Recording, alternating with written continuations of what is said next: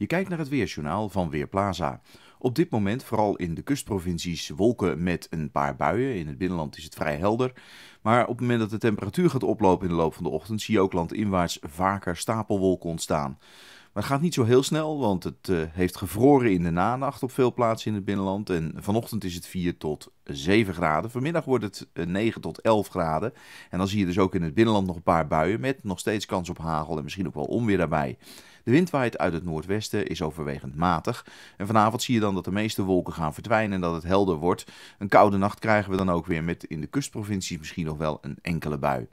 Morgen dan opnieuw buiig weer. Kans op hagel en onweer blijft wel. In het noorden van het land trekt meer bewolking over. In het zuiden is het wat vaker droog. En het wordt ongeveer 10 graden op Koningsdag. Voor de vrijdag ziet het weerbeeld er nog steeds niet heel veel anders uit. Een zwakke tot matige westelijke wind, 10 tot 12 graden, zonnige periode, maar ook een bui. In het weekende neemt de kans op neerslag af en vooral zondag loopt het kwik flink verder op. Ik ben Marco Verhoef van Weerplaza.nl